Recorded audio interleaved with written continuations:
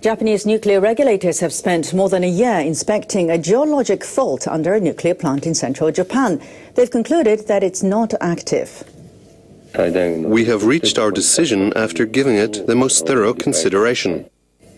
The Nuclear Regulation Authority issued a final report on this F6 fault under the Oi plant. They say the fault is unlikely to be affected by a nearby active fault.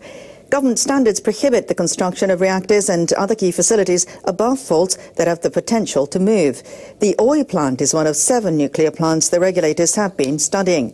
Regulators concluded last May that a fault under the Tsuruga plant, also in central Japan, has the potential to move.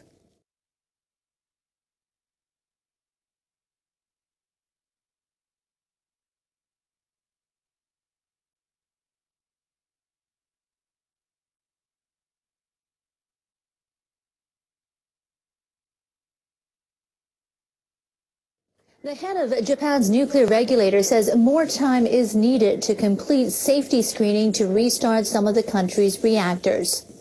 All commercial reactors in Japan are currently offline. Nine nuclear power stations have applied for safety checks by the Nuclear Regulation Authority. The checks are prerequisites for restarts. At an NRA meeting, officials reported on the screenings of the first six power plants. One official said the authority is nearing the end of screenings for basic designs of new safety devices. Another said the checks are in the final stage. But after the meeting, NRA Chairman Shunichi Tanaka said the authority needs more time. We need to check the designs of safety devices, and then officials will start work on approving them. The whole screening process will not be finished by the end of March. Tanaka says the authority will hear a variety of opinions from scientific and technology experts before reaching a final conclusion.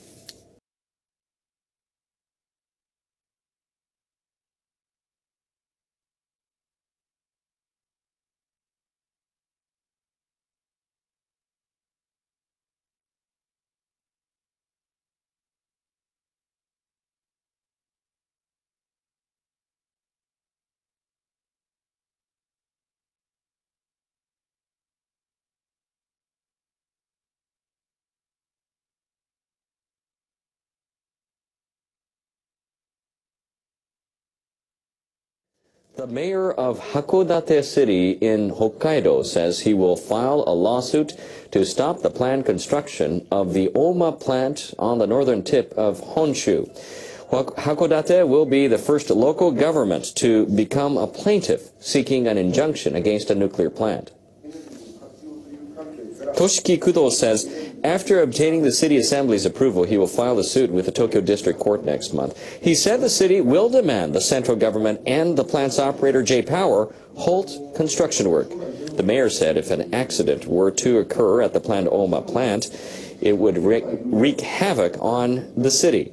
The facility is being built across a narrow strait in neighboring Aomori Prefecture 23 kilometers from Hakodate. Regulations require local governments within a 30 kilometer radius of a nuclear plant to have plans in place to evacuate residents in the event of a major accident. Construction work at OMA was suspended after the 2011 accident at the Fukushima Daiichi plant, but resumed in October 2012. J-Power is preparing applications for safety checks required under the government's new safety guidelines. Kudo said the city has asked the central government and J-Power on four occasions to hold construction work indefinitely, but the requests have all been rejected.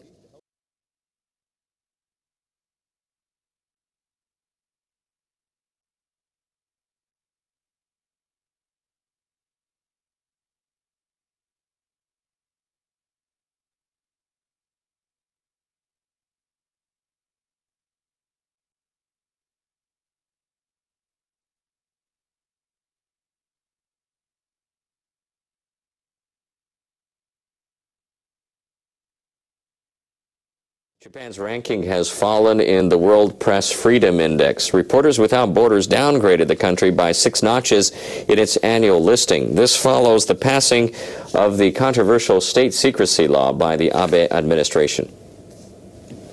The Paris-based media rights watchdog released its 2014 World Press Freedom Index covering 180 countries and territories.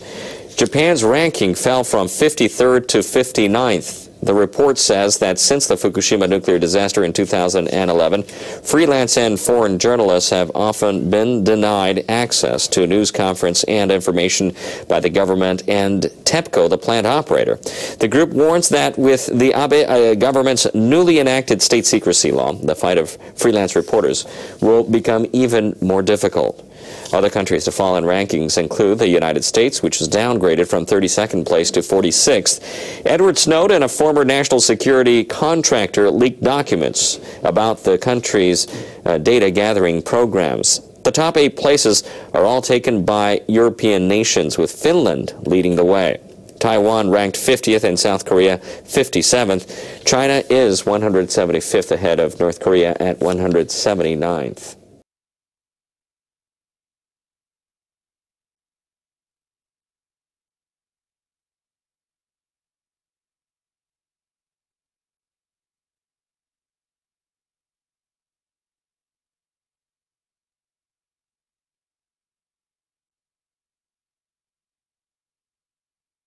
More people around the world are developing a yen for Japanese cuisine that helped boost exports of Japanese food products to a record high last year. Agriculture Ministry officials say Japan exported foodstuffs worth about $5.4 billion in 2013. That's up 22% in yen terms from the previous year. And it's the highest figure since the ministry began keeping records in 1955. Exports of scallops and apples doubled. Shipments of sake, miso paste, and soy sauce each grew nearly 20%. Shipments to other parts of Asia accounted for more than 70% of Japanese food exports last year. Vietnam imported 36% more Japanese food products last year, and exports to Thailand rose 30%. It is great news. We will work harder to achieve our goal of expanding food exports to $10 billion by 2020. Hayashi says lingering concerns about food safety after the Fukushima nuclear disaster are causing markets like Hong Kong, Taiwan, and China to place restrictions on imports of Japanese foodstuffs. Hayashi says the ministry is asking those markets to remove the restrictions by presenting data showing that Japanese food is safe. People who fled their towns and villages after the nuclear accident in Fukushima have spent nearly three years dreaming of going back. For many, it's not just their homes they miss. They had to leave their pets behind, and those animals are struggling to survive another bitter winter. Iitate village is in the evacuation zone. High radiation levels forced 6,000 residents to leave.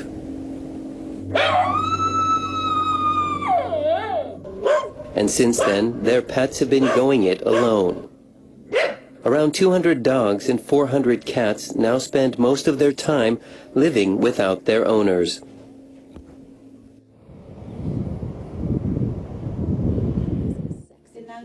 Tokiko Sato is one of those owners. She's living in Fukushima City temporarily. Because her apartment there doesn't allow pets, she had to leave her dog Tayo in Iitate. Tayo is a Japanese word meaning sun. Sato chose the name hoping the dog might share its warmth with others. I feel like I've been separated from my child. I miss Tayo. I talk to his photo every day, saying things like, good night, or I'm going now.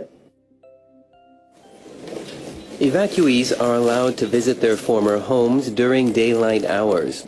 Sato goes twice a week to take care of her dog. It's about an hour's drive from Fukushima City.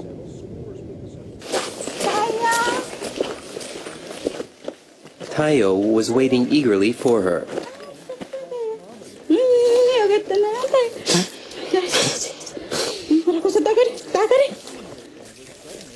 She fed him some homemade food. She also took the dog for a walk. But she realized Tayo had lost weight this winter. On every visit, she always leaves a lot of food to keep the dog going until next time. So she wondered why he was losing weight. An NHK crew set up an infrared camera to investigate. In the middle of the night, rats showed up. They ate some of the food and took more away with them. Amazingly, they made over 200 raids across the night. By morning, half of the food was gone. Clearly, Tayo wasn't eating enough.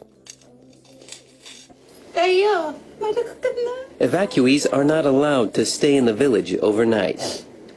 Tayo. So, when Tayo senses it's time for Sato to leave, he hides his face. Sato is heartbroken about leaving the dog behind, especially with the rat problem. I feel so sorry for Tayo. I want Iitate to be a safe place where people can live with their families as well as with their cats and dogs. That's my dream. This is the third winter since the accident at Fukushima Daiichi. The pets in the village are surviving with only intermittent visits from owners and volunteers. With no hope of life returning to normal soon, the animals and the people who care for them can do little else but keep going and hope Japan for the has best. won permission from the United States to import natural gas from a southern U.S. state. U.S. government officials have now approved all plans for gas exports involving Japanese firms. The Department of Energy gave the go-ahead on Tuesday for a project in the southern state of Louisiana.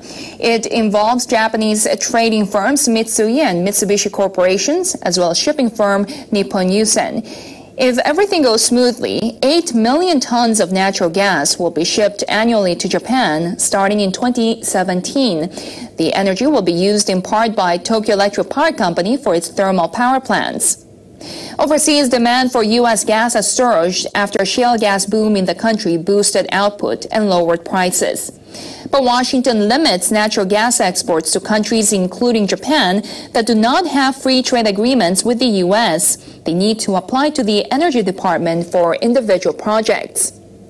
The department okayed three projects for Japan last year. With the latest approval, Japan is now set to import about 17 million tons of U.S. natural gas a year. That would account for nearly 20% of the country's natural gas requirements. Hello, my people. I'm Abby Martin, and this is Breaking the Set. Here's a question I never thought I'd ask. What the frack is Mickey Mouse up to in Ohio? See, last month, Radio Disney employees traveled to 26 schools and science centers across the state promoting a program called Rockin' in Ohio. Sounds innocent enough, right?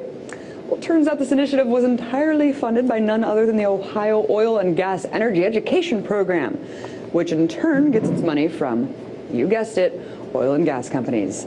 During the demonstration, the kids were shown interactive presentations about gas pipelines and encouraged to spread the message about the industry. Now, I'm just guessing here, but I doubt these kids were also taught that infertility and cancer causing chemicals have been found in fracking water supplies, and that the practice is responsible for artificial earthquakes in Youngstown, Ohio. Unsurprisingly, the fracking indoctrination of Ohio's youth isn't sitting too well with environmental activists. In fact, one online petition urging Disney's CEO to shut down this program has already gathered over 80,000 signatures. So, if you think the Magic Kingdom and oil belong together as well as water and oil, let's break. An energy provider that serves our region may be closing some of its nuclear power plants. But company officials say the one in Montgomery County is safe. Exelon officials say the company is considering closing some of its underperforming nuclear generating plants, but the Limerick plant is not on that list. The company says the Limerick plant is a strong performer for the company, and there are no plans to close either unit before the end of their federally licensed operating lives. The units are licensed through 2024 and 2029.